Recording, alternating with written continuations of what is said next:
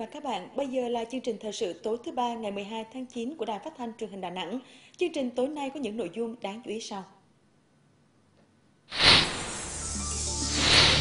Lãnh đạo thành phố Đà Nẵng vừa có buổi làm việc với đoàn công tác Ngân hàng Phát triển châu Á ADB,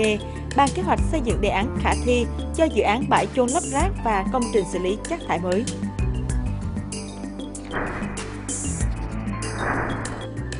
Cửa khẩu sân bay quốc tế Đà Nẵng hiện đã sẵn sàng đáp ứng yêu cầu về xuất nhập cảnh trong thời gian diễn ra sự kiện APEC.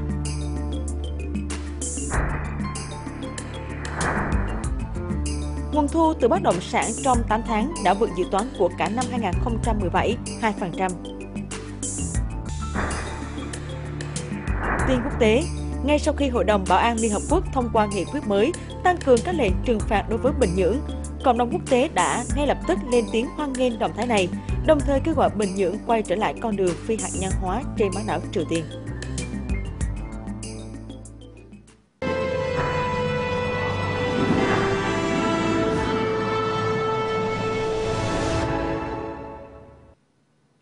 Bây giờ là nội dung chi tiết. Thưa quý vị, tiếp tục chương trình làm việc sáng nay, Ủy ban Thường vụ Quốc hội cho ý kiến dự án luật đo đạc và bản đồ.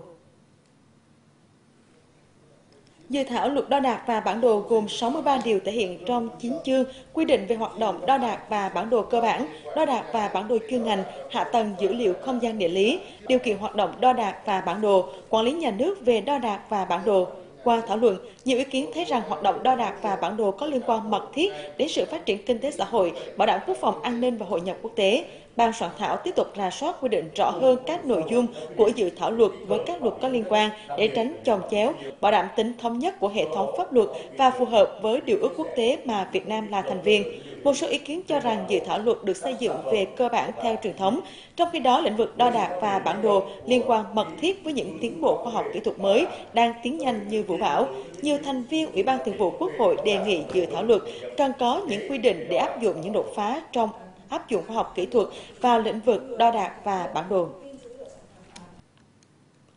Nhân kỷ niệm 55 năm ngày thiết lập quan hệ ngoại giao Việt Nam-Lào, 50 năm ngày thiết lập quan hệ ngoại giao Việt Nam-Campuchia, chiều nay tại Đà Nẵng diễn ra lễ khai mạc triển lãm mỹ thuật Việt Nam-Lào-Campuchia do Sở Văn hóa và Thể thao thành phố tổ chức. Đến dự triển lãm có ngài Khamsen Sen Tổng lãnh sự nước Cộng hòa Dân chủ Nhân dân Lào tại Đà Nẵng, ông Kim Sothi, Cục trưởng Cục Nghệ thuật Tạo hình, Bộ Văn hóa và Nghệ thuật Vương quốc Campuchia và ông Đặng Việt Dũng, trưởng ban tuyên giáo thành ủy Đà Nẵng.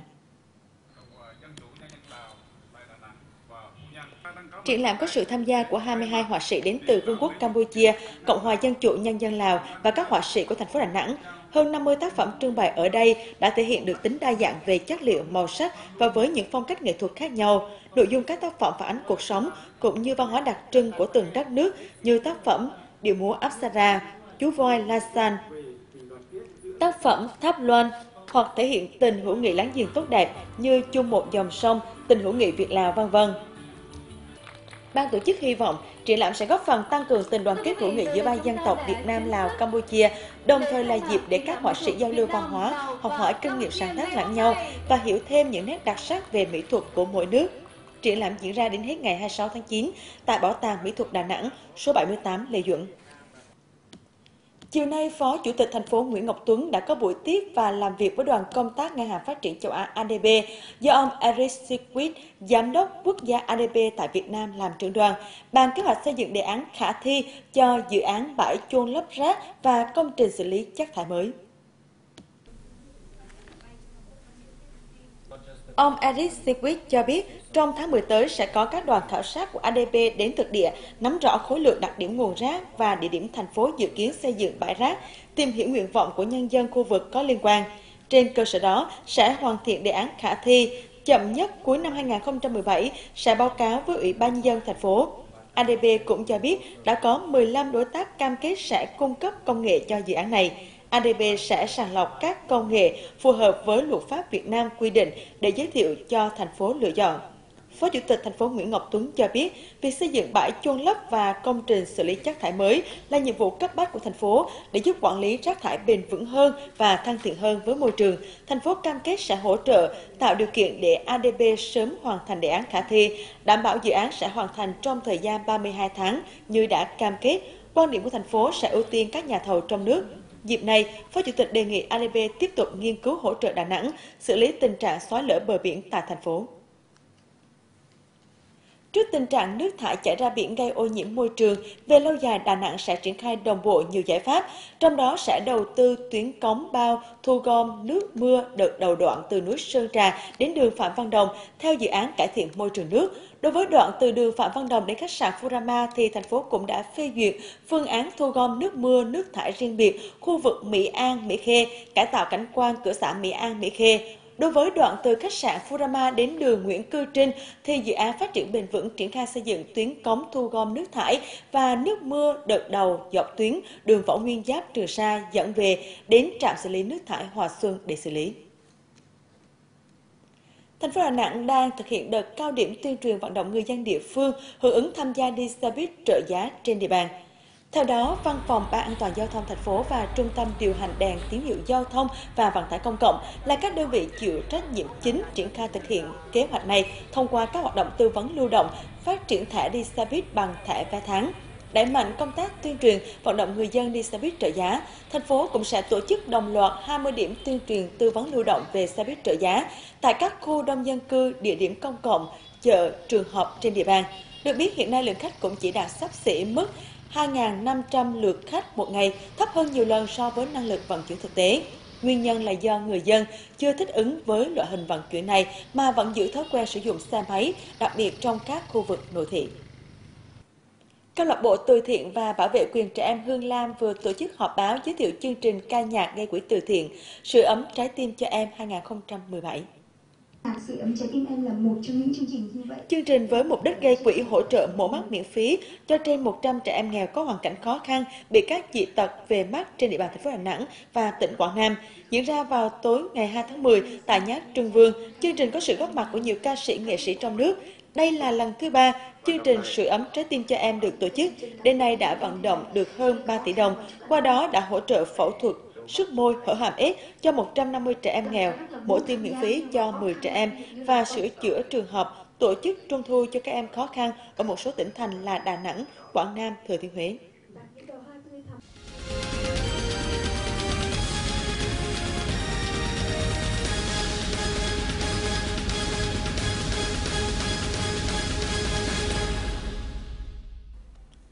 Khuôn khổ hội nghị Bộ trưởng Doanh nghiệp nhỏ và vừa APEC 2017 được tổ chức tại thành phố Hồ Chí Minh, sáng nay đã diễn ra diễn đàn khởi nghiệp APEC 2017. Diễn đàn khởi nghiệp APEC 2017 là dịp để các đại biểu, chuyên gia từ các nền kinh tế thành viên APEC cùng tìm giải pháp hỗ trợ và phát triển doanh nghiệp vừa và nhỏ và siêu nhỏ, đặc biệt là các doanh nghiệp khởi nghiệp, trong đó các chính sách tạo điều kiện cho doanh nghiệp khởi nghiệp đổi mới sáng tạo, xây dựng cơ hội để hội nhập khu vực và quốc tế, tiếp cận chuỗi giá trị toàn cầu ngay từ khi khởi nghiệp là các nội dung được tập trung chính. Các đại biểu cũng sẽ bàn về việc hình thành hệ sinh thái khởi nghiệp APEC, qua đó tạo đường tiền đề quan trọng để tinh thần khởi nghiệp phát triển, định hướng hoạt động khởi nghiệp của các nền kinh tế, xây dựng mối liên kết chặt chẽ, tạo nền tảng vững chắc hỗ trợ doanh nghiệp khởi nghiệp. Thưa quý vị và các bạn, tuần lễ cấp cao APEC 2017 dự kiến có khoảng trên 10.000 đại biểu quốc tế đến Đà Nẵng. Đại diện Chi cục Hải quan cửa khẩu sân bay quốc tế Đà Nẵng cho hay, đến nay mọi việc chuẩn bị đã hoàn tất, sẵn sàng đáp ứng yêu cầu về xuất nhập cảnh trong thời gian diễn ra sự kiện. Để đáp ứng yêu cầu gia tăng hành khách, phương tiện xuất nhập cảnh trong thời gian tới, Chi cục đã triển khai hệ thống thông quan hàng hóa tự động. Hệ thống này cho phép hải quan thu thập trước thông tin hành khách, hàng hóa, phương tiện xuất nhập khẩu, xuất nhập cảnh, qua đó phân luồng quản lý rủi ro, rút ngắn thời gian thông quan cho các tổ chức cá nhân. Bên cạnh đó, công tác hướng dẫn tập huấn cho cán bộ công chức về thủ tục hải quan với hành lý, hàng hóa, phương tiện của các đoàn đại biểu, phóng viên nước ngoài đến đưa tin hội nghị cũng được đặc biệt chú trọng.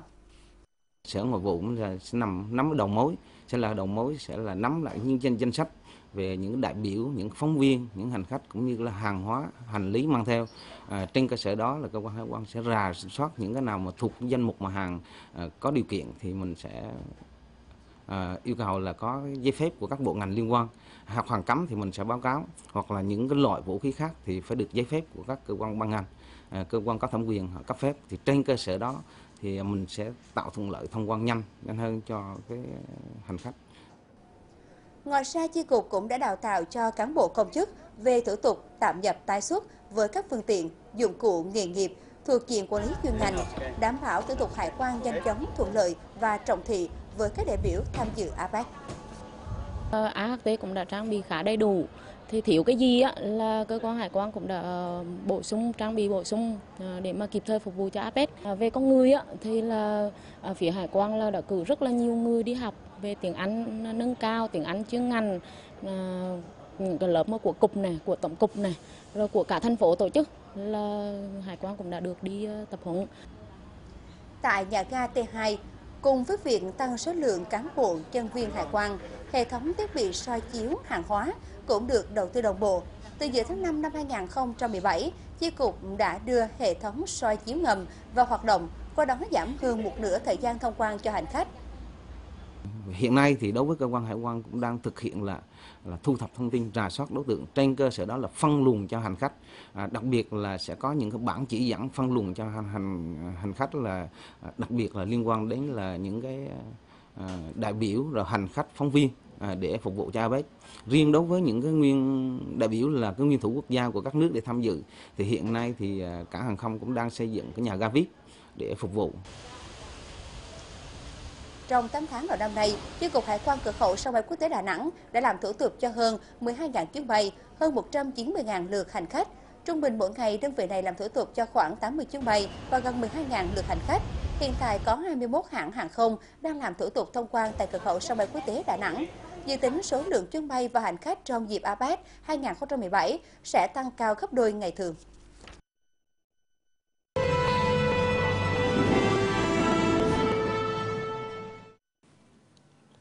Ổn định, giảm nhẹ hoặc giá cả không có nhiều biến động là dự báo của Cục Quản lý giá Bộ Tài chính về tình hình giá cả tháng 9. Tuy nhiên, cơ quan này cũng cảnh báo những tác động của việc giá xăng dầu tăng, các địa phương tiếp tục lộ trình tăng giá học phí có thể gây sức ép tăng nhẹ lên mặt bằng giá cả tháng 9. Cùng với đó, theo Cục Quản lý giá, nhu cầu mua sắm đi lại trong ngày tự trường của học sinh, sinh viên, nhu cầu vui chơi mua sắm dịp nghỉ lễ 2 tháng 9 và rằm trung thu dự báo sẽ có thể đẩy giá một số hàng hóa dịch vụ tiêu dùng tăng. Những mặt hàng thiết yếu như lúa gạo, thực phẩm tươi sống được dự báo giảm nhẹ hoặc ổn định. Hai mặt hàng là ga và xăng dầu có thể tăng nhẹ hoặc tăng ở mức vừa phải, sẽ ảnh hưởng đến chỉ số giá tiêu dùng tháng này. Theo dự thảo nghị định mà Bộ Tài chính trình chính phủ, thì việc thực hiện hóa đơn điện tử sẽ được áp dụng thực hiện với hầu hết các doanh nghiệp từ tháng 7 năm 2018 và mục tiêu đến năm 2020 có tới 90% doanh nghiệp sử dụng hóa đơn điện tử. Theo thống kê của ngành thuế thì đến hết năm 2016, cả nước có 843 doanh nghiệp lớn đã sử dụng hóa đơn điện tử. Qua đánh giá, việc áp dụng hóa đơn điện tử đã giúp tiết giảm chi phí, giúp doanh nghiệp nâng cao quản trị doanh nghiệp, hạn chế sử dụng hóa đơn bất hợp pháp, gian lận thuế. Theo Hội Tư vấn Thuế Việt Nam, để có thể triển khai hóa đơn điện tử một cách rộng rãi, cần phải có nhiều biện pháp khuyến khích hỗ trợ với các doanh nghiệp. Đối với các doanh nghiệp vừa và nhỏ, hộ kinh doanh cần có cơ chế tài trợ cho doanh nghiệp đăng ký áp dụng hóa đơn điện tử, cấp các phần mềm ứng dụng tập huấn và thậm chí hỗ trợ về cơ sở hạ tầng công nghệ thông tin. Cục Thuế Đà Nẵng cho biết tính đến ngày 31 tháng 8 năm 2017, tổng thu cân đối ngân sách trên địa bàn đạt 13.317,5 tỷ đồng, đạt 73,8% dự toán trung ương giao và bằng 129,92% so với cùng kỳ năm 2016. Điểm nổi bật là nguồn thu từ bất động sản trong 8 tháng đã vượt đích dự toán của cả năm 2017 2%. Một số quận huyện có số thu từ chuyển nhượng bất động sản tăng cao như Sơn Trà, Ngũ Hành Sơn, Liên Chiểu, Hòa Vang. Bên cạnh đó, thị trường bất động sản những tháng đầu năm khởi sắc, số lượng giao dịch chuyển nhượng tăng cao cùng với việc thành phố cho tổ chức bán đấu giá hàng loạt lô đất nên nguồn thu từ thuế chuyển nhượng và thuế thu nhập cá nhân cũng tăng mạnh. Một số tin tức nổi bật liên quan đến y tế. Tại Việt Nam, tỷ lệ tử vong do các bệnh truyền nhiễm mới nổi đang có xu hướng gia tăng trở lại là thông tin được đưa ra tại Hội nghị các bệnh truyền nhiễm và quản lý lâm sàng nhiễm trùng hô hấp nặng do Bộ Y tế tổ chức sáng nay. Chỉ trong 10 năm từ năm 2003 đến năm 2013, Việt Nam là nước đứng thứ ba về số ca mắc H5N1 ở người, trong đó 61 ca tử vong chỉ trong chưa đầy một năm, Việt Nam có trên 11.000 trường hợp cúm AH1N1 và đối mặt với nguy cơ cao của cúm AH7N9 lây truyền từ Trung Quốc qua đường biên giới. Việt Nam đang gặp nhiều hạn chế trong việc phòng chống các bệnh truyền nhiễm, đó là nguồn nhân lực y tế về chuyên ngành truyền nhiễm và hồi sức còn thiếu trầm trọng. Bộ Y tế kiến nghị các cơ sở y tế cần nâng cao năng lực trong quản lý lâm sàng các bệnh truyền nhiễm để ứng phó với các bệnh truyền nhiễm mới nổi. Theo Trung tâm Y tế Dự phòng Đà Nẵng, trong tuần qua, thành phố tiếp tục ghi nhận thêm 143 trường hợp mắc mới sốt xuất huyết, nâng tổng số ca bệnh từ đầu năm đến nay lên hơn 4.700 trường hợp, tăng gần 95% so với cùng kỳ năm ngoái. Trong đó, các địa phương có nhiều ca bệnh nhất lần lượt là Thanh Khê với 914 ca, Liên Chiểu là 809 ca và Hải Châu 757 người mắc sốt xuất huyết. Hàng trăm ổ dịch nhỏ đã được các địa phương xử lý kịp thời, đồng thời ngành y tế cũng đã tiến hành phun hóa chất diệt mũi, thành lập các đội xung kích diệt bọ gậy để phòng chống, không để dịch bùng phát. Để nâng cao chất lượng dạy và học năm học 2017-2018, ngành giáo dục Đà Nẵng tiếp tục nâng tỷ lệ phòng học bộ môn đạt chuẩn. Trên địa bàn thành phố đã có 60 trường trung học có phòng học bộ môn đạt chuẩn với số lượng 188 phòng đạt chuẩn, trên 303 phòng học bộ môn, đạt tỷ lệ 62%. Kế hoạch năm 2017 sẽ xây dựng thêm 30 phòng học bộ môn của 11 trường trung học, nâng tỷ lệ trường có phòng đạt chuẩn lên 65,5%. Đến nay có 11 trường với 30 phòng đang được đồng loạt triển khai xây dựng. Tổng kinh phí đầu tư phòng học bộ môn năm 2017 là 41,5 tỷ đồng. Sáng nay, Khoa Y Dược Đại học Đà Nẵng tổ chức lễ khai giảng năm học 2017-2018. Năm học này, Khoa Y Dược Đại học Đà Nẵng đón gần 400 tăng sinh viên, ngoài việc tuyển sinh và đào tạo chính quy hai ngành bác sĩ đa khoa và điều dưỡng đại học. Thời gian qua, khoa còn mở thêm hai ngành mới là bác sĩ răng hàm mặt và dược sĩ đại học, tham gia nhiều dự án của Bộ Y tế. Thời gian đến, khoa y dược tiếp tục đầu tư trang thiết bị và cơ sở vật chất phục vụ giảng dạy nghiên cứu, đảm bảo môi trường thực hành, thực nghiệm chuyên nghiệp, sát với thực tế nghề nghiệp. Thưa quý vị, thực hiện tốt các chính sách hỗ trợ ngư dân phát triển đội tàu khai thác dịch vụ xa bờ gắn với bảo vệ chủ quyền biển đảo, từng bước giảm số lượng tàu cá và thuyền thúng gắn máy có công suất dưới 20 mã lực. Đó là một trong các nhiệm vụ đột phá kinh tế nằm trong nghị quyết số 2 của Thường trực Thành ủy Đà Nẵng. Thể hiện rõ nhất quyết tâm của thành phố chính là việc đẩy mạnh hỗ trợ ngư dân vay vốn và đóng mới tàu thông qua quyết định 47 của Ủy ban nhân dân thành phố. Cùng với Nghị định 67 của Chính phủ, đây là hai nguồn vốn vay ưu đãi thiết thực cho phép ngư dân Đà Nẵng có quyền lựa chọn phương án đóng tàu mà bản thân mong muốn. Theo thống kê, đến nay số tàu đóng mới khoảng 90 chiếc, trong đó có 7 chiếc theo Nghị định 67. Tổng lượng tàu năm 2017 giảm còn 1.200 chiếc. Tuy nhiên, tổng công suất trung bình đã lên tới 230 CV. Vâng, về theo nghị quyết 02 thì à, không những là là à, từ khi có nghị quyết và trước đây thì cái chủ trương lớn của thành ủy cũng như à, hội đồng dân ủy ban nhân dân và bộ nông nghiệp thì cũng định hướng là tăng cường phát triển cái tàu khai thác xa bờ và giảm cái tàu khai thác ven bờ để nhằm bảo vệ nguồn lợi thủy sản thì vấn đề đó là riêng ở Đà Nẵng thì kết hợp với lại cái nghị định 67 thì Đà Nẵng nó có cái quyết định là 7068 trước đây mà bây giờ là quyết định 47 tức là khuyến khích để đóng mới các tàu có công suất lớn. Riêng cái à, 47 của Đà Nẵng á, đó là à, nếu như những phương những chủ nào đóng tàu có công suất từ 400 đến dưới 600 thì có sẽ hỗ trợ 500 triệu đồng. Từ 600 đến dưới 800 thì hỗ trợ 600 triệu đồng. Và từ à, 800 CV trở lên thì hỗ trợ 800 triệu đồng chia làm hai lần. Bên cạnh đó cũng phải kể đến đề án 4991 về giảm số lượng phương tiện nghề cá loại công suất nhỏ hơn 20 CV. Theo đó, thành phố sẽ chủ động mua lại số phương tiện này, đồng thời có chính sách hỗ trợ chủ phương tiện và người lao động. Điều đáng mừng là thời gian qua, người dân đã đóng góp nhiều ý kiến thiết thực để xây dựng đề án sâu sát và hiệu quả. Riêng về cái quyết định số 4991 thì cũng có một số ý kiến à, của người dân trong việc khi mà xả bạn tàu công suất nhỏ thì cái mưu sinh họ như thế nào thế này thì có một số kiến. Ví dụ như là họ đề nghị à, thứ nhất là tăng tính cái hỗ trợ tiền ngư lưới cụ là cái thứ nhất. Cái thứ hai là tăng cái, cái cho số tiền hỗ trợ số tiền mà thực hiện sớm là cái thứ hai. Cái thứ ba là hỗ trợ cho các lao động trên các phương tiện không đăng ký. Cái này thì đã được lấy ý kiến của các các địa phương, các ban ngành, các quận huyện, các các đoàn thể nữa. Vì vậy cho nên là phải nói đây là là là nó dạng như là ý đảng lòng dân trên dưới địa hợp. Cho nên là chúng tôi tin rằng cái cái quyết định đã được à, à, triển khai tốt. Đặc biệt cái cái bốn bãi thì hoàn toàn là thuận lợi tạo điều kiện cho dân rồi. Nhưng riêng cái quyết định 4991 tức là giảm tàu thì tuy nhiên đây vấn đề không là phá đơn giản. Nhưng mà à, với cái chính sách như vậy với quyết tâm của các địa phương cũng như người dân thì tôi tin tưởng rằng là cái 4991 nó sẽ đạt thắng lợi. Để đưa nghị quyết đi vào cuộc sống, thành phố, ngành nông nghiệp và người dân phải cùng chung tay góp sức phát triển mạnh đội tàu khai thác, mạnh dạng vươn khơi bám biển, làm giàu cho quê hương và góp phần bảo vệ chủ quyền lãnh thổ.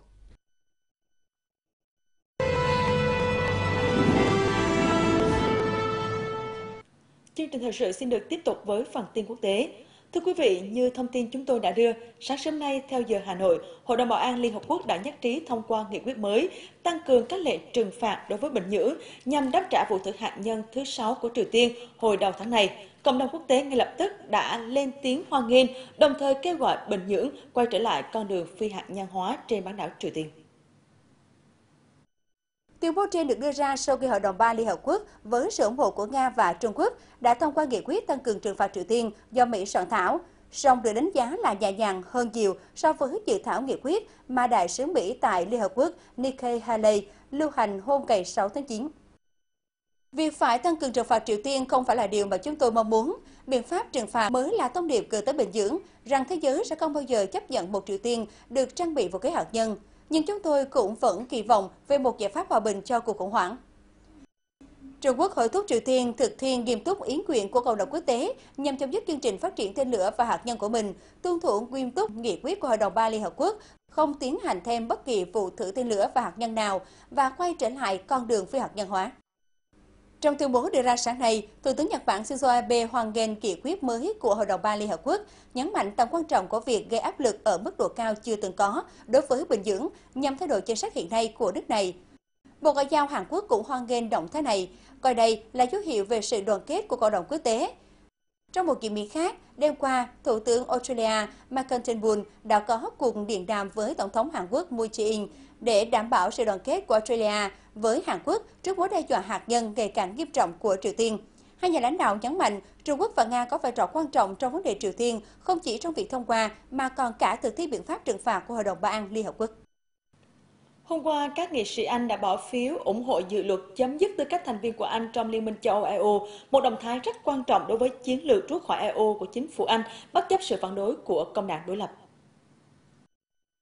Sau hơn 13 giờ thảo luận, Quốc hội Anh đã phê chuẩn dự luật rút khỏi EU với 326 phiếu thuận và 290 phiếu chống. Sau khi được thông qua, dự luật này sẽ tiếp tục được các nghị sĩ Anh nghiên cứu kỹ lưỡng. Đây là bước tiếp theo trong à, quá trình thực thi kết quả cuộc trưng cầu ý dân lịch sử hồi tháng 6 năm 2016 về việc Anh rời EU. Trong một tuyên bố, Thủ tướng May hoan nghênh kết quả bỏ phiếu, cho rằng đây là quyết định lịch sử tạo sự chắc chắn và minh bạch trước khi Anh rời EU. Nhà lãnh đạo Anh nhấn mạnh, mặc dù nhiều việc vẫn còn phải làm phía trước, nhưng quyết định này giúp chính phủ Anh tiếp tục có cuộc đàm phán về Brexit dựa trên nền tảng vững chắc.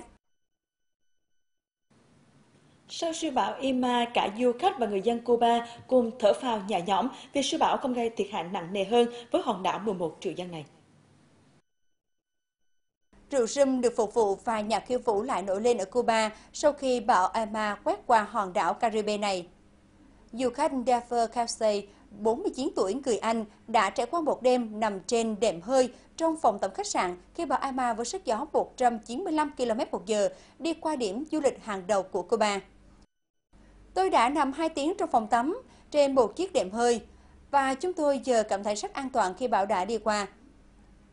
Thủ đô Havana không trực tiếp chịu ảnh hưởng của bão Irma, nhưng nhà của người dân ở quận trung tâm gần biển bị ngập lụt sau khi sóng cao 11 mét vượt qua đê biển, biến thành phố thành bể bơi lớn. Chúng tôi thức dậy và cơn bão đã qua. Tất cả mọi người đều vui mừng cùng bắt tay vào dọn dẹp bể bơi và sau đó chúng tôi cùng vui chơi chúc mừng bão đi qua. Ở khách sạn Barcelo, du khách Bradley không ngớt lời ca ngợi việc người Cuba dùng xe buýt sơ tán họ cùng hàng nghìn người khác trước bão hay việc nhân viên khách sạn mang sandwich đến phòng bà trong bão. Giờ bạn đã lại cảm nhận được không khí vui vẻ tại đây. Mọi người đã sớm ổn định lại, gió lại nổi lên và mặt trời lại bừng sáng. Cuba cùng lắc lư theo điệu nhạc. Âm thanh của bản hit mùa hè Despacito lại được phát trên loa và nhân viên khách sạn chuẩn bị bữa tối. Ngành du lịch Cuba có thể mất vài tuần, thậm chí vài tháng để hồi phục sau bão Irma. Nhưng du khách tại Barcelona cho biết sẽ không ngại quay trở lại hòn đảo Caribe này vì ấn tượng của họ rằng người Cuba rất đáng yêu. Chương trình thời sự tối nay của Đài Phát thanh Truyền hình Đà Nẵng xin được kết thúc tại đây. Cảm ơn quý vị và các bạn đã quan tâm theo dõi. Xin kính chào tạm biệt.